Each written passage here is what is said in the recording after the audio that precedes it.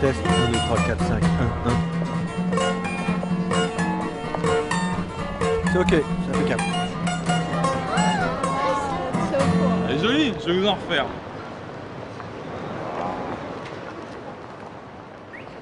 Est-ce que les bulles sont toujours sphériques ou pas? Est-ce que ça fait toujours un rond? Non. Est-ce que vous pensez qu'avec ça on peut faire une bulle pas ronde?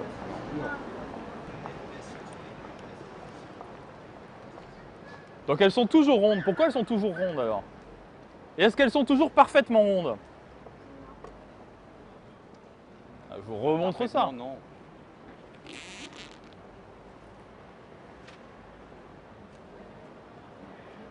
ça marche. ça.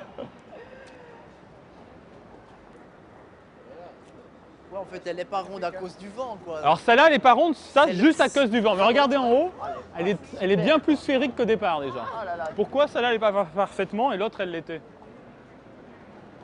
Parce qu'elle était, elle était plus petite, l'autre, elle avait moins de contact avec l'air, non? Alors c'est pas le moins de contact, mais en effet, c'est parce que ce que vous avez raison, c'est parce qu'elle était plus petite. Plus petite, ça veut dire que la tension en fait de la bulle est plus forte. Du coup, elle va, elle va garder la forme qu'elle a tendance à vouloir adopter, qui est une sphère. Dès qu'elle est plus grande, celle que vous venez de voir, elle est plus faible au niveau pression d'ailleurs interne. Plus la bulle est grande, moins il y a de pression interne. Mais en plus, eh bien, la, la tension entre les molécules de savon va être plus fine, et donc du coup, elle va être sujet eh bien, au mouvement de l'air et elle va se déformer. Donc les petites sont vraiment bien rondes.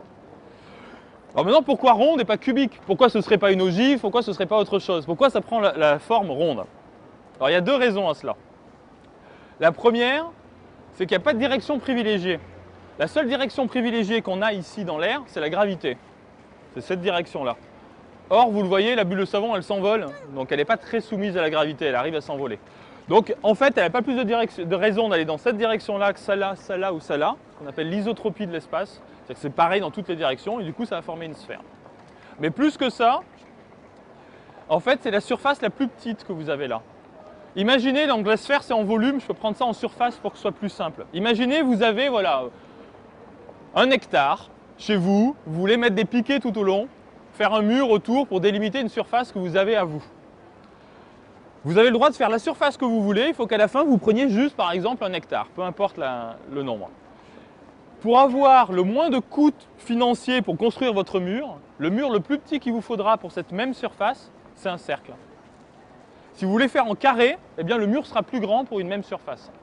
Et ici pour une sphère, c'est exactement pareil. C'est vous avez dit quoi? C'est pour utiliser le moins de molécules possible. alors non, parce que le nombre de molécules, elle est là. Car une fois que vous avez créé votre bulle ici, il y, a le- il y a les molécules dedans, il n'y en a pas plus, il n'y en a pas moins. Si vous prenez un volume qui est le volume d'air que j'ai contenu, que j'ai enfermé dans du savon, si je veux eh bien, euh, avoir la surface minimale, la plus petite, ce sera toujours la sphère. Si vous faites un cube, ce sera plus grand, donc du coup les molécules de savon vont être plus étirées, donc vont être plus fatiguées. Et dans la nature, c'est toujours vrai, c'est une loi universelle pour le coup, mais dans tous les domaines de physique, la nature essaye d'avoir l'énergie la plus tranquille. Même vous, hein, si vous êtes debout sur un piquet, au bout d'un moment, vous allez avoir, vouloir euh, descendre et vous reposer, c'est exactement pareil. marrant, mais tous les phénomènes physiques se retrouvent parce que l'électricité, elle passera euh, au plus court. Euh, Exactement. Je suis sûr si on cherche, si on creuse partout, on retrouvera toujours les mêmes principes. C'est ce qu'on appelle le principe de Maupertuis, qui dit que euh, le- la physique cherche toujours l'énergie minimale, quoi qu'il advienne. Donc les molécules de savon qui se tiennent la main comme ça, en sphère, eh bien, elles vont être plus proches, elles vont avoir moins de tension, elles vont être plus fortes, et c'est comme ça que ça fonctionne. Donc voilà pourquoi les bulles de savon en fait sont sphériques et n'ont pas une autre forme.